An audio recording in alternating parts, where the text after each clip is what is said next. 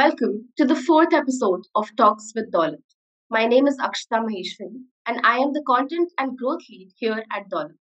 We have with us Varun Fatehpuria, the founder of Daulat. Daulat is a tech enabled, all in one solution for Indians to invest better and reach their financial goals. Before Daulat, Varun also worked with some of the biggest investment institutions like Bloomberg and Blackstone. He graduated with distinction in finance and information system from Hong Kong University of Science and Technology. He is also a NISM certified investment advisor. We are glad to have you here with us, Varun. Thank you for having me once again, Akshita, today, and I look forward to this podcast. Thank you. So today we'll be discussing about how to invest internationally a lot of people want to uh, you know allocate a part of their funds to international uh, funds but they don't know how exactly to go about it. So uh, let's have a discussion on that and let's try to understand uh, and get some more clarity. So varun uh, first and the foremost thing could you tell us something about why we should uh, invest internationally? Sure akshita. So i think mutual fund or even investing in the capital markets definitely uh, took a big shakeup in the last two to three years due to COVID. A lot of people got into the markets primarily uh, wanting exposure outside of the traditional financial instruments like a fixed deposit or a bank deposit or a PPF and all of those things, right? And because they saw an avenue which was, I would say, much more efficient uh, than other asset classes where they were traditionally invested. And domestically, a lot of the investors had done just fine, right? I mean, they were investing in mutual funds or stocks, uh, whether by themselves, whether through a distributor and an advisor. And through these pooled investment vehicles, obviously, they got exposure to, I would say, instruments that were not easily accessible, let's say, even five years back or 10 years back. Now that's on the domestic side of things, where uh, obviously people tend to have a home bias. Uh, people are well aware of the companies which are listed in the stock market, so whether they want an exposure to that, uh, to that directly or indirectly uh, is secondary. But because they are familiar with what's happening in the Indian economy, what's happening with the Indian companies, they are much more, I would say, at comfort, at ease to take uh, and invest and participate uh, in the growth of those companies. But I think people also, due to that, tending to shield themselves in into a box where they were not looking for opportunities outside of the domestic region. And I think that's where exactly uh, investing internationally uh, comes to the forefront. Uh, so there are primarily, I would say, four key reasons why you need to invest internationally. And I would take uh, help of the slides that we have prepared for the benefit of the audience today uh, to guide you through as to why you need to keep uh, investing internationally outside of the domestic markets and how that could potentially, I would say, uh, help you diversify your portfolio. So just allow me to share my screen today.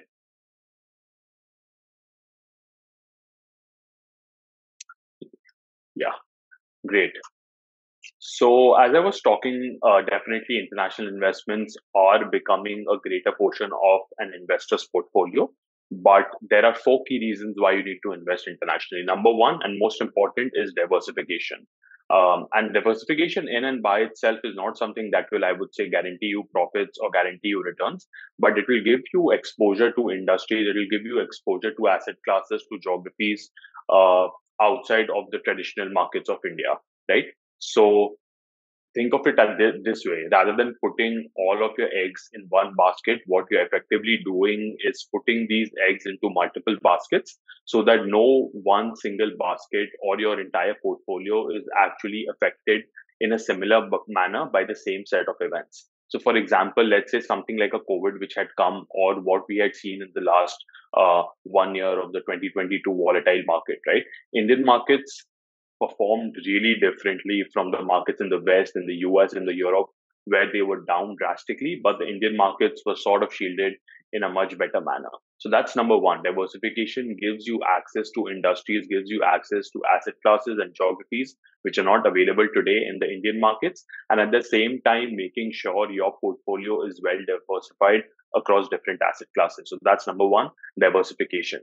Number two is protection from currency depreciation. So as an Indian investor, um, most of the Indians, I would say, are used to uh, their currency being depreciated against the major economies like the US and the Europe. So by investing a small portion of your portfolio internationally, you are also number one, hedging your currency exposure. And number two, potentially benefiting from a depreciation in the rupee itself. So let me give you an example. Let's say if you had invested uh, 100 rupees uh, outside in the US markets um, at a 75 rupees uh, INR USD exchange. Once, uh, uh, so, so, so that would have bought you an X number of stocks, uh, let's say three years back. Now, if the currency depreciates to 80 rupees, that same set of dollars now will give you a much higher rupee return, right? So what you are seeing effectively being played out here is by being invested in markets where traditionally we have seen that the Indian rupee has depreciated against that currency, you stand to actually benefit from that depreciation. So that's number two, protection from currency depreciation. Number three is ability to generate higher returns. Uh, I think some of the biggest uh, companies in the world are not present in India today, right? Think, for example, biggest technology companies. And these companies had done exceptionally well during the bull run of 2020 and 2021, right? Uh, delivering returns in excess of 15 to 20% even at an index level. So it also allows you to basically invest outside and be able to generate much higher returns than what you would be able to get in the Indian markets. Having said that, that is not always the case. There could also be times where uh, those markets tend to significantly underperform. But at the same time, because if you are investing from a longer term point of view, you can very well be assured that you will have a much rather smoother investing journey by being invested in markets that do not perform uh, in a similar manner at the uh, same time. So uh, that's number three, ability to generate higher returns. And number four is access to different industries. As I alluded to previously, some of the biggest uh, companies in the world uh, that could be technology companies, that could be semiconductor companies, that could be biggest financial institutions in the world, consumer companies are perhaps not present in India. So this also allows you to get exposure to companies, allows you to get exposure to industries which are not present in the Indian markets and stand to again potentially benefit from that. So these are the four reasons why we think you need to invest at least a certain portion of your uh, equity portfolio uh, internationally. All right, got it. Now that it's clear that there is an incentive to invest internationally for these reasons, the next question that obviously follows up is which are the countries in which we should, uh, you know, invest? Which are the markets? So, Akshita, I would say three of the biggest uh, countries and geographies, which typically we have seen most of the investors actually tend to go towards, are US, China, and Europe. And the reason for that is obviously these economies, these geographies tend to be a lot more mature, number one. And then there is an existing ecosystem present in those countries where you could take exposure to their capital market. So obviously Europe and US uh, tend to being developed economies, developed geographies, have a much easier set of capital markets where foreigners could come and invest money. China tends to be a bit different uh, where you need to typically take exposure to any of the economy, uh, sorry, companies that you want through a fund. But at the same time, there are a lot of funds uh, which are domiciled offshore through which you can take exposure to high growth Chinese companies. So these are basically the three economies which we are seeing currently uh, popular amongst investors. Having said that, that is not to say that other, uh, I would say, geographies or economies are not well represented.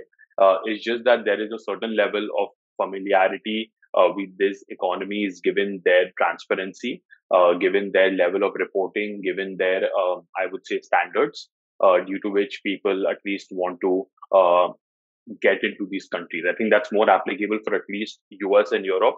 China definitely still has a lot of catching up on the transparency and the regulatory point of view, but people still want exposure to that economy given that it's the second largest economy in the world. And uh, you really need to have China uh, uh, if you're investing internationally, at least a certain uh, uh, percentage. Again, what allocation that you have to each of the economies really depends on the kind of exposure, the kind of time horizon, the kind of view that you have in each of these uh, about these geographies. But uh, these three, um, I would say, uh, economies uh, are most well represented in our country. Okay. So, uh, Varun, could you please tell me a little about the allocation of the equity portfolio? Like for people who are planning to invest in internationally, what is the ideal allocation? Yeah. So again, this is really important, right? So once you have decided that you need to invest internationally, once you have decided that this is something that you want to do, now we need to understand what portion of your portfolio actually needs to be invested in these funds, right? I think when the markets are really performing uh, with the bull market run that we saw in the last two to three years, everyone everyone wants to increase their exposure to these, uh, I would say, uh, funds and uh, geographies and countries. But the moment we see a downward trend is when we start to realize, uh, you know, maybe we need to take a step backward. So rather than doing that, why don't we, uh, let's say, on day one itself, have an exposure out of our equity portfolio and carve that out for international exposure? Uh, and that, that's really sort of like, I would say, a good spot. So, what you see in the screen is basically a sample 80 20 portfolio, right? Where 80% of your money is invested into equities and 20% of your money is invested into debt. Out of that 80%, you could allocate roughly about 10 to 15% uh, of your money uh, into international funds, and the balance 70% can be, um, I would say, invested uh, domestically, whether that's through mutual funds, whether that's through direct equities, that is uh, for you to decide. Uh, but about having a 10 to 15% exposure from a diversification point of view, from a risk management point of view, uh, is, I would say, a good rule of thumb. So try to keep, uh, I would say, your international exposure anywhere between that, but also see that if you are able to take that uh, sort of a risk by investing uh, abroad, because sometimes the market could, you know, be really volatile um, outside as well. Okay. So, uh, I mean, what exactly are the options that are available to us, you know, to invest internationally? If you could discuss a little on that. So there are primarily, I would say, two options that are available to investors uh, in India today, right? You could directly invest uh, in the stocks uh, of international companies. So let's say, for example, you like Apple, you like Tesla, you like Google, you want to get an exposure to these uh, companies, just like how you would buy a stock of a TCS or a Reliance uh, or a Hindustan Unilever in India, you could pretty much do the same way uh, by investing directly uh, in those stocks. So that's number one, where you are taking your own decisions and you're uh, directly investing in those companies. The other and a much more, I would say, efficient way from a tax perspective, from a cost perspective, are international mutual funds, uh, which are present in India today which allows you to get exposure to, I would say, funds present outside the country. So that could be US, that could be Europe, that could be China. And those funds in turn basically then further invest in all of those international companies. So again, similarly, how you would invest in a domestic mutual fund, which further invests in different stocks and companies, these international mutual funds also, which are present in India, you have to invest them in a similar manner as you would invest in a domestic mutual fund by parking your money uh, in rupee uh, and then the fund house doing the rest by investing either in mutual funds outside or in exchange traded funds uh, outside. So these are basically the two options. Uh, and this is how basically the process for direct stocks looks like, right? So you as an Indian investor first need to open a foreign brokerage account, right? Where you need to put in INR and convert that into USD. So you need to also be sure of the currency conversion charges that you are paying on every transaction, right? So let, let's say if you want to buy 1 lakh worth rupees of uh, stocks in the US markets. So first you need to deposit 1 lakh rupees, convert that into USD at the uh, conversion rate, whatever the brokerage house charges, and then use that brokerage account to further invest in companies outside. So it's very similar to, I would say, investing in companies in India where you need to open a demat account. But in this case, you need to be opening a brokerage account with a foreign broker. Uh, and uh, making sure your account is funded in USD and not INR. So that's the process for direct stocks. The process for international mutual funds tend to look a bit different where you are investing in INR and giving that money to an Indian fund house. So let's say if you want to invest in NASDAQ, which represents uh, the 100 biggest non-financial companies in the US. So what you would effectively do is just how you would invest in a domestic mutual fund. You put in 1 lakh rupees into this fund house. Uh, and then the fund house takes care of the rest where they basically uh, do the conversion, then invest in mutual funds or ETF units outside. And the redemption process also pretty much looks the same that once you want to basically redeem your investments, you typically put in a redemption order and the money comes into your bank account in INR and not USD. So as you can see, I think both of these uh, investments options tend to look a bit different from a process point of view. Uh, that is for you to decide again at the end of the day uh, that if you're more on the risk taking side, you could pro- probably play around with direct stocks, but you want something which is a much more easier manner of investing, then international mutual funds are something that you could easily consider. Alright, so you just discussed the risk risk aspect of both these options, but if you could uh, elaborate a little on you know the pros and cons for both these options uh, for our audience. So again, the pros and cons for again both of these options look very similar uh, compared to let's say uh, investing directly in Indian stocks or domestic mutual funds, right? Uh, with a bit of a caveat in terms of the restrictions that uh, the regulator, the Reserve Bank of India, has placed on uh, international investing. So direct stocks uh, tend to have, I would say, three major pros, right? Number one, there is a flexibility in stock selection. You could obviously select uh, the stocks which you like, which you think would uh, perhaps do the best over a medium or a long term period. And then there is a customized portfolio construction as well, because the entire onus is on you to actually select stocks and then go about with the portfolio construction. And you're not sort of depending on any of the fund managers to do that. So you have complete control over how your money is being invested. Uh, and number three is the lower holding period for availing uh, beneficial taxation when investing directly in stocks, right? And this is something that will come uh, at a later part in episode where we talk about how I would say both of these uh, processes are taxed differently. Uh, but this is something that you need to keep in mind and be very mindful of because tax and brokerage and currency charges can actually significantly eat into your returns. So do not just look at returns uh, at a pre-tax, pre-cost basis. Always consider that given that you are actually remitting money outside uh, to be able to actually come to a final decision. So that's on the pros. I would say one of the biggest cons for investing in direct stocks is the costs that are associated uh, with currency, with brokerage, uh, on every transaction that you do, right? And a lot of the people actually do not take into account. So I would definitely urge you to actually think about all of these costs before taking any decision. Number two is RBI has placed an upper limit of $250,000. So that's roughly be about two odd crores that you can invest uh, outside uh, annually. Uh, right. So this could be, let's say, if you're a parent, you have sent your child abroad, I think this, you also sort of like come into the liberalized uh, remittance scheme where there is a cap of $250,000, right? So there is definitely an upper limit beyond which you cannot actually, um, I would say, remit money apart from a few cases.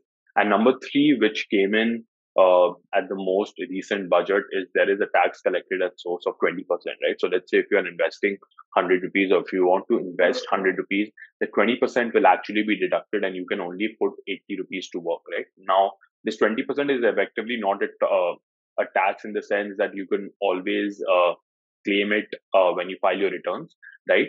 But uh, that's that's basically just adding another friction uh, and putting less money to work. And this is something that I would say definitely is hefty. Uh, uh, and that something would deter a lot of people uh, from actually directly investing in stocks outside. So that's basically the pros and cons for direct stocks.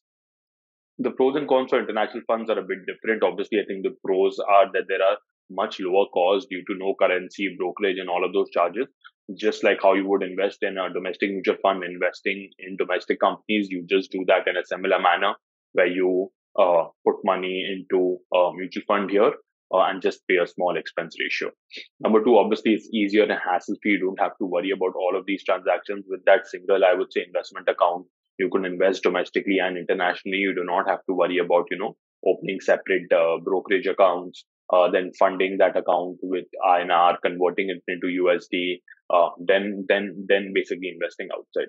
And number three is uh, there are no upper limit and TCS on transactions. Right? There's an upper limit at an industry level which has been met at seven billion dollars, but there is still room at the ETF level for you to invest. So I mean, typically for uh, as an end investor, it doesn't really matter, uh, right? So long as you're getting exposure to those uh, uh, companies. And on the cons, obviously, I think the same set of cons apply that would apply to a domestic mutual fund. That there is no flexibility in stock selection.